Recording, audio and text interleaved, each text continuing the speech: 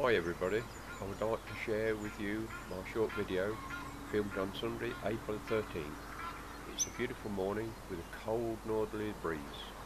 We join the unring female osprey who has been recently named Maya. I hope I have pronounced the name correctly for you.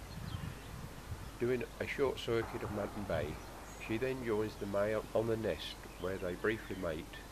The male then flies over to the perch for a spell of preening.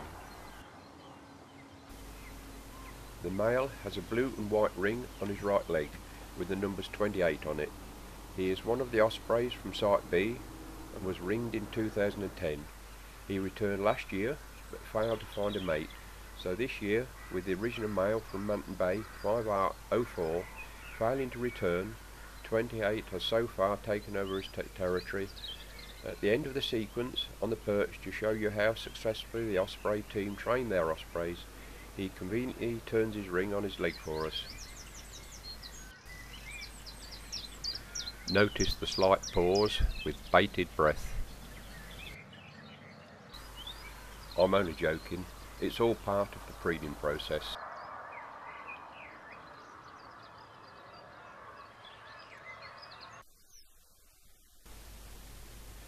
The male has now left his perch, where he flies towards Manton Bridge where there is a small coppice of willows. So far this morning he has made a couple of attempts at breaking sticks off for the nest without success, but this time he did it with perfection. He has also collected a large clump of grass for the nest as well as sticks in the short time I spent with them.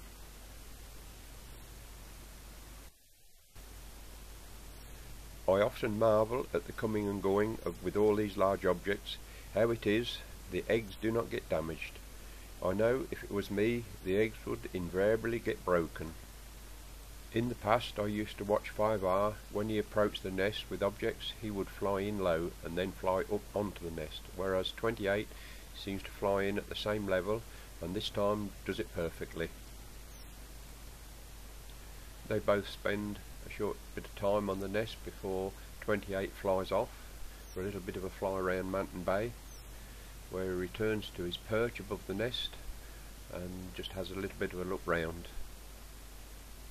After a while he returns to the nest where the female osprey spies some Egyptian geese who often hang around to see if they can take advantage of an empty nest site.